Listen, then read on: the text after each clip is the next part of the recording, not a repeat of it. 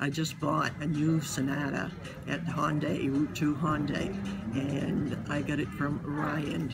Super guy. Come down and ask for Ryan.